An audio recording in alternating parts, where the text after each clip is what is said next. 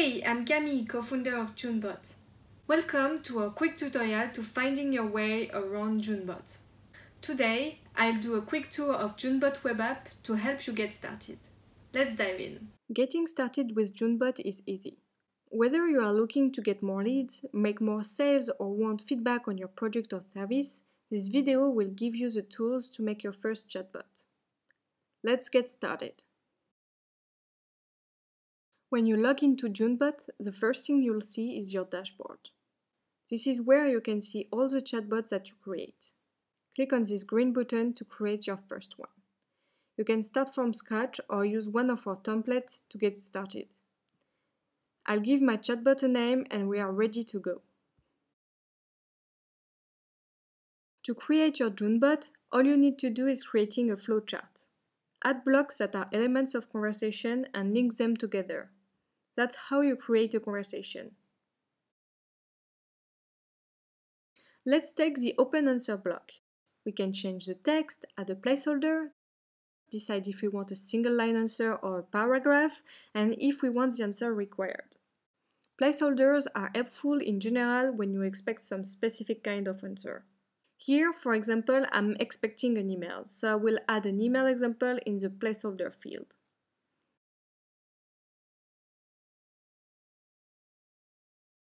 You can also use buttons and picture choice blocks that give a ready-made answer to users and structure your data. You can ask for a document or specific info like a date, a number, an email or a phone.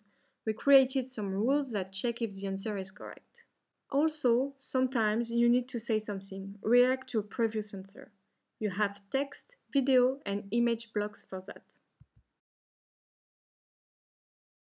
To make your Joonbot more personal, you have hidden fields, logic jumps, and calculation blocks. Hidden fields are info you give to your Joonbot so that it can reuse it during the conversation and add it to your data results. For example, hidden fields allow you to use data that you already have to avoid asking the email of your customer again when he has an issue, act as a traffic origin tracker to enrich your data, and know who answered your survey.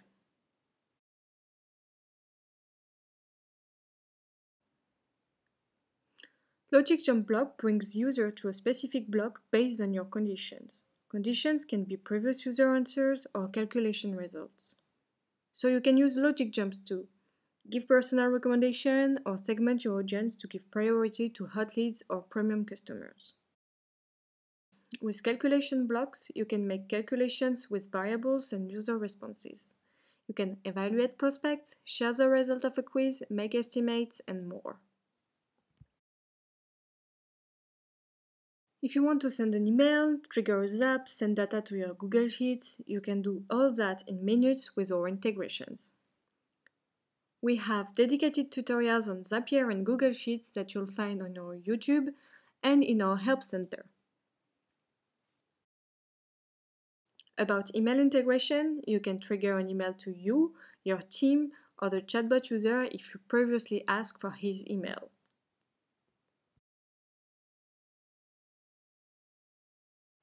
To avoid some work, you get by default an email notification every time a conversation ends. You can change and add more email addresses. In the case you don't want those emails, you can remove your email address. If you want to go further, like sending or getting data from specific third-party apps like your custom database, you can do it with a webhooks integration. For that, you need a bit of code. Icing on the cake, if booking an appointment is how you do your business, you will love Joonbot. We have an integration with Calendly. Your leads can book a meeting easily directly within the Joonbot interface. On the Design tab, you can personalize the aspect of your chatbot. You can choose between several formats, full page, embed, and widget ones. For example, on widget format, you can customize your catchphrase, change the colors of the text bubbles, upload your own avatars, tune your own language, and your chatbot position. Soon, you'll be able to edit the font, and within the full page format, you'll be able to add an image on the right side. You can refine your audience by choosing on which web page your chatbot will appear and regarding your traffic source. Google Ads, UTM parameters, referrals, you can control all that. You can share your chatbot by using the link to the full page format URL here. You can customize the URL with your own domain name. To install Joonbot on your website, nothing is easier. If you have a CMS, you only need to master the art of copying and pasting.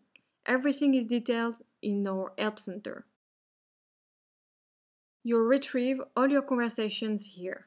Depending on if you activated or not the Remember Visitors feature here, your chatbot will be able to know if the user is a returning visitor or a newcomer. The conversations will be stacked if it's the same user. When the Remember Visitors feature is activated, the browsing experience is better. When a visitor navigates on your website or comes back later, he finds the conversation he previously had with your bot where he left it. Also, if you want to analyze your results, you can export your data as CSV. You can add custom goals in the conversation to follow the conversions you want. Results end up in the metrics tab. You have your custom dashboard with your custom metrics. Also, A-B test block is here to help you improve your conversion rate. Thanks for watching. If you have any questions, you can reach us through our chatbot available within your Joonbot account. If you enjoyed this video, Make sure to like it and subscribe to our channel so you don't miss anything. Have a great day, bye!